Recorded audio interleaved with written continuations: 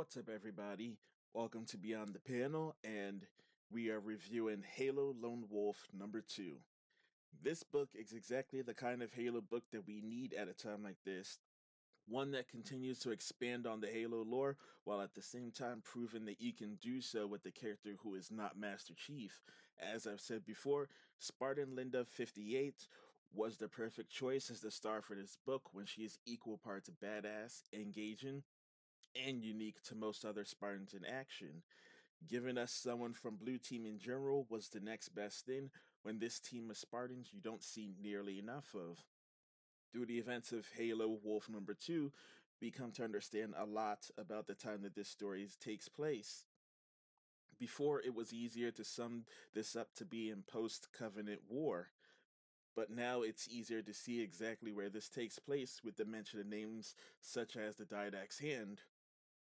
It's those little things that matter during a time like this.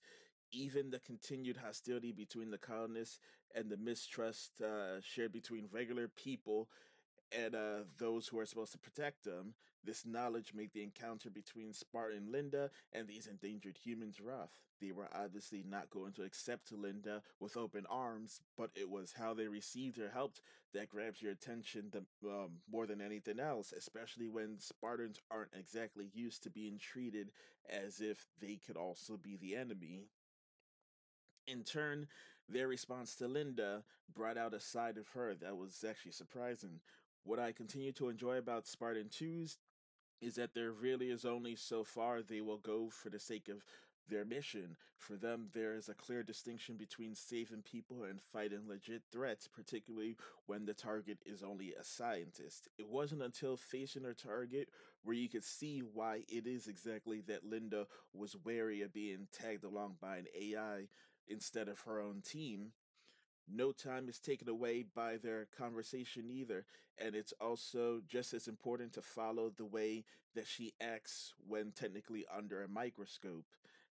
The very way that this AI tries to control Linda's action is precisely what we needed to see from one of those uh, from one of these books to draw a line in the sand that separates AIs you can trust and those you can't, because uh, there there's there, there's a there's a big difference when you have AI such as Cortana, someone who you know is working for you and is uh is looking out for your best interests and someone who's offered to you by ONI and uh you don't know where that person's loyalties lies. They they they they don't look at you as their primary uh as their primary uh teammate or or uh partner.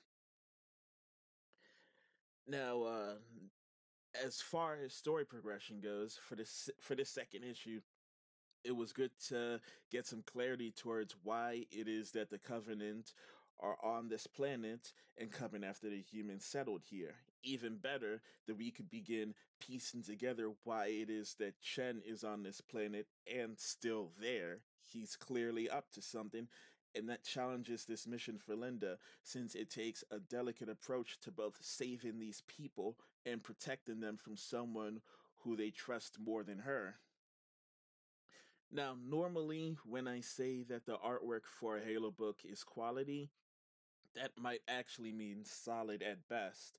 Halo Lone Wolf is probably the first book in a good while where I'm able to say that uh where I can where I'm able to say that this is quality work and actually mean that. I was impressed by the improvements that the interior artwork even had in this issue. Big steps were taken to give us clear renderings of uh, of all the characters, the settings, the backgrounds, even Linda herself. Before it was just the humans who were lacking because of some areas of perspective. You know, sometimes you sometimes you pan things out too far and everything and everything just isn't in the same uh level of detail. They kind of they kind of back off a little bit and all you really see is just the shapes the outlines not enough that really engages you. The but for this issue but but for this issue a lot of that was fixed and that made a big difference in how this chapter engages us with linda's handling of these settlers the characters were much more expressive it was great to see the Sun Keeley in full detail and linda in her armor again was commendable for every action scene that made her move like she was a superwoman.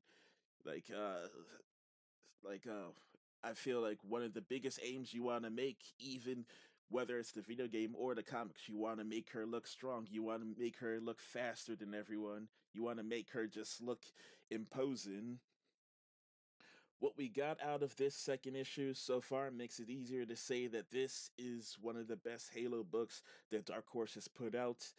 And uh, excellent story, and it has an excellent story that is only matched by quality artwork. Spartan's personality is never a bad thing, and this story right now proves that.